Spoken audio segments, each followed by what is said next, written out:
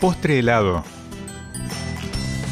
Para el bizcocho de coco, batir a punto letra 3 huevos con 90 gramos de azúcar. Incorporar con movimientos envolventes 80 gramos de harina 4 ceros y 3 cucharadas de coco rallado. Esparcir sobre una placa con papel manteca enmantecado y enharinado. Llevar a horno medio por 12 minutos. Una vez frío cortar dos rectángulos.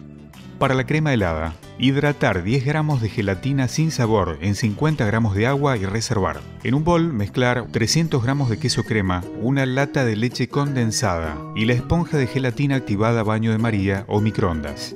Agregar con movimientos envolventes 350 gramos de crema de leche batida a medio punto. Incorporar 100 gramos de crocante de maní y 50 gramos de chocolate semi amargo rallado. Forrar una budinera con papel film. Volcar la mitad de la preparación, colocar un rectángulo de bizcocho de coco y sobre el mismo disponer 100 gramos de cerezas en almíbar. Cubrir con el resto de la crema y finalmente colocar el segundo rectángulo de bizcocho. Llevar a freezer. Bañar con baño de repostería semi amargo.